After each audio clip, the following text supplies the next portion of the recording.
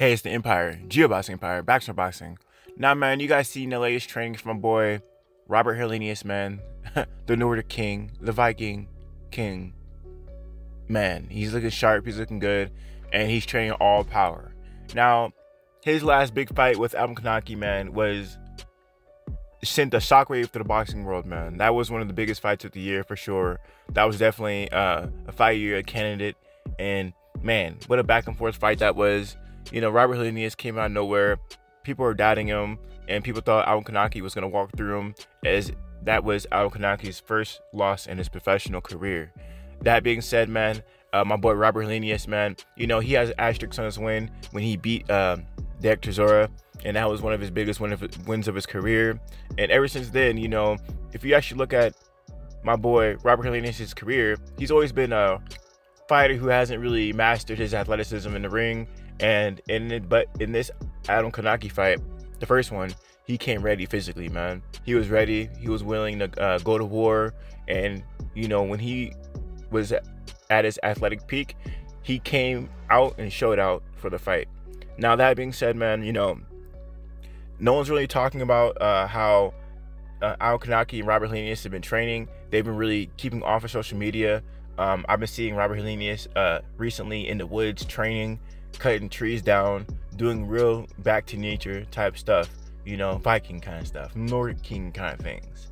You know, nature kind of stuff. So my boy Robert Helenius, man, you know, he's basically in isolation training, and it's uh, it's he's looking good, man. He's looking good.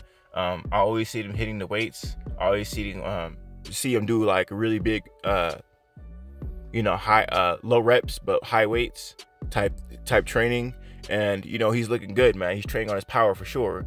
You know that was the one uh, ingredient that Robert Helenius, uh, that Robert Helenius was missing was the power. The power was all he needed, you know, to be in physical shape, his peak shape, because boxing is phys- physically taxing your body. And how do you beat a volume puncher? How do you beat a guy that can always beat you to punch? You counter, you counter the guy. You know, Robert Helenius uh, knows how to beat Al Kownacki, and you have to punch in between his punches. That's basically how you beat a volume puncher, or you counter them. You know, um, Robert Helenius thinks he can uh, do it all over again and absorb Adam Kownacki's punches and counter him with a big shot. So we're gonna see how this whole thing plays out, man. You know, I'm big on Robert Helenius. I think he's a good underdog story for sure. Um, like I said earlier, you know, he's never been at, at his athletic peak, but recently, of late, he's been uh, training the right kind of training to get there. You know, so yeah, man, I'm really excited to see how Robert Helenius train again. Um, I, I, like his training uh, regiment. I like his mentality, and it's back to the roots, man. Back back to square one.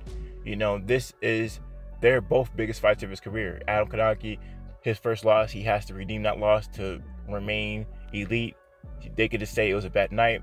Robert Helenius needs to prove that that wasn't a fluke, and I got this guy's number. So, that being said, you know, Robert Helenius had a lot of uh, challenges in his career. Um, one of his more recent losses were uh, to Gerald Washington.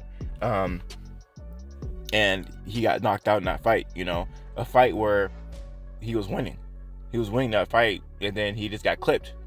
So crazy stuff, man. Stuff happens in boxing. This is the big boy division, heavyweight division, and stuff happens. You know.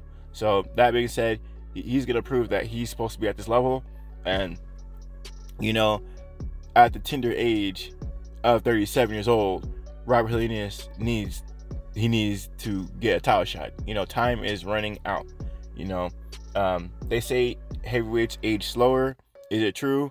Yes, I do believe so because a lot of these fighters, when they take L's, it's a quick stoppage. It's not like you know the smaller divisions how you're just getting hit hundreds of times, and then you just make it to decision. This is the heavyweight division. These guys are hard hitters. So when you get hit, it's more likely going to be stopped within, uh, you know, 10, 20 punches. If you, especially if you're hurt. You know, the Al, uh, the Al Kownacki fight, you could have been hit more with a couple dozen punches before it was over, or less. You know, a few clean shots when you're hurt, this fight's gonna be stopped. So that being said, man, these heavyweights aren't really taking too many too much punishment. Um, you know, it's just the nature of the division. You know, it's easier. Uh, these fighters aren't throwing hundreds of punches per round. There's a very few fighters who can do that, right? Uh, think of uh, my boy Joe Big Baby Miller. He was one guy doing it, but it turned out the guy popped dirty. it turned out he was on a sauce. So that being said, you know we don't know how good he really is outside of the sauce. Robert, I mean uh, my boy um, Big Baby Miller. You know he's been his career's been in limbo ever since. He has been extremely inactive. He went top rank, and that was the worst thing he could have did for his career. You know, um, he should have gotten his knees and begged out Heyman to stay with him because ever since he went with Top Rank, he became he became a ghost. You know, uh, Gerald Miller needs to call himself Ger- Gerald Ghost Miller because the guy barely comes around anymore. So that so that being said, man, yeah, these heavyweights are throwing hundreds of punches per round. They don't really take too much punishment, and if it's a stoppage, it's most likely a quick one hitter clear stoppage or very few punches landed uh, that hurt the guy, right? Uh, think of the fight with Carlos Takam and um, uh, my boy Joe Joyce. Joe Joyce hit uh, Carlos Takam with a few clean shots. It was no more than 10 clean shots, and then they stopped it. You know, have his all time boxing, man. So you're going to see how this whole thing plays out with um, Robert Helenius and Adam Kownacki. But this is definitely going to be the biggest fight of the year. People are sleeping on this fight. This is definitely a co-main event or main event type fight, actually, tell you the truth. You know, um, so we're gonna see how this whole thing plays out. I mean, me personally, I, they could have had this fight in Finland, or this could, they could have had this fight in Poland, where Kownacki is from. So you know, either way, I mean, in America, it's gonna be um, it's gonna be a big fight, obviously, with uh, Tyson Fury on, on uh, and, and Deontay Wilder on the, on the main event. So it's definitely gonna have the most eyes on it for sure. So you know, that being said, this is gonna be a one for the ages, man. One for the ages. You know, um, it's wild because it, usually trilogies and, and when they fight for a second time, those aren't big, you know. Um, but the, I mean, the excitement and the sheer sit and wait that boxing has had taken place due to the pandemic last year made everyone anxious just to see a fight. And this one, it has a lot of history behind it, it has a story to tell behind it, right? The back and forth, the the the the the the, the, the, tides and, and, and the calm you know. So we're gonna see how this whole thing plays out, man. Big deal, big deal. Robert Helenius is looking sharp. A lot to prove. Underdog story, or will he get stopped by Kownacki? Who knows? I'm gonna keep following their training, see how everything goes. Let me know how you guys feel about it though. Like, comment, subscribe. This is the Empire. Geobox Empire. Peace.